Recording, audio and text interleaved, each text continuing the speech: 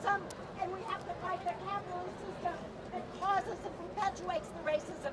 The police force didn't just start being racist yesterday. They were organized.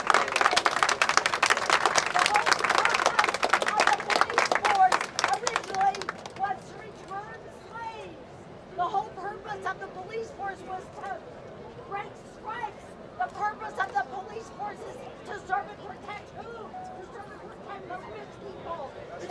poor people.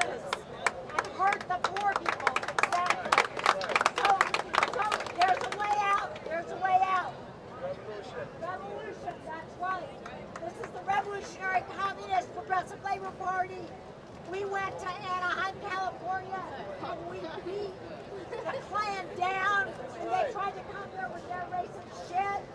Let them try to come with that racist shit here. That's right. We went, we went to Jason Van Dyke, racist house. We went to his house, painted a sign on his lawn, letting everyone know what a racist he is. So, power to the working class. Kick the bosses in the ass and re-challenge. I want to tell you all, you all have been brainwashed. You have been brainwashed. Every day on TV, you see a black woman or a black man acting mad. We are taught that that's the way that we are supposed to be, that we're, that we're that way naturally. No.